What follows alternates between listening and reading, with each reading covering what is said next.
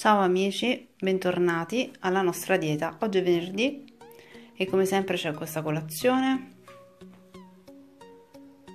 Uguale agli altri giorni ho cambiato qualcosa, oggi vi dirò dopo. Lo spuntino con yogurt um, magro o parzialmente scremato e cereali integrali, due cucchiai, devono essere 20 grammi di cereali integrali.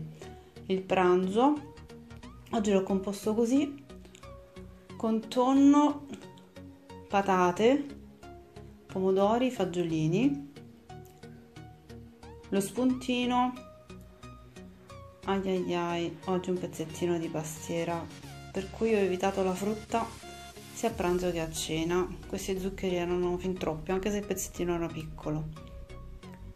A cena poi 200 g di salmone con lattuga, tutto condito con limone, una carota e un po' di pomodoro questa giornata da 1264 calorie perché non ho mangiato i due frutti ma la pastiera ha fatto il suo. Infatti senza frutta la fibra è bassissima. Ma andiamo alla giornata intera e vediamo i dettagli. Come vi ho detto la colazione è sempre la stessa. Oggi però ho variato al posto della marmellata ho preso un cucchiaino di nutella sempre 10 grammi, un bel cucchiaino abbondante che è previsto nella dieta in sostituzione della marmellata. Lo spuntino solito con uno yogurt a basso contenuto di grassi e cereali. A pranzo mi sono deliziata con questi fagiolini, se vi piacciono sono buonissimi. E patate, ho scelto le patate novelle, hanno meno carboidrati, poco meno, il tonno e i pomodori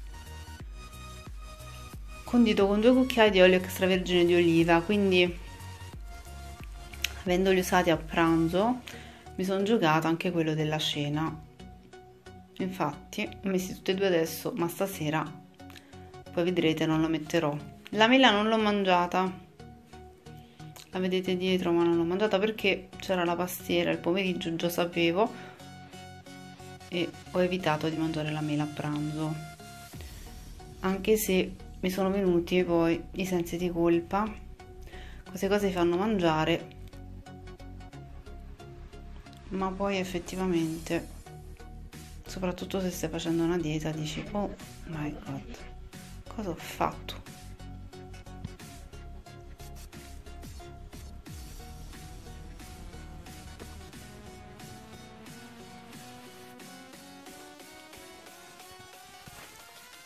ma non si può tornare indietro. Quindi ho cercato di evitare poi la frutta. Però come vedete nella giornata la fibra è stata pochissima quindi non va bene. Questo può essere uno sgarro di un giorno basta